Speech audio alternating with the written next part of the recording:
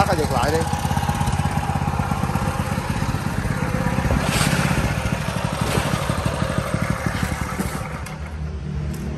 Không le à?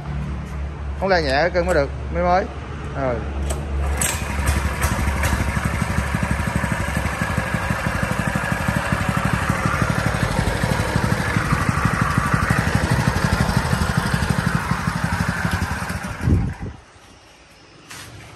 Máy càng mắc tiền là giật càng nhẹ.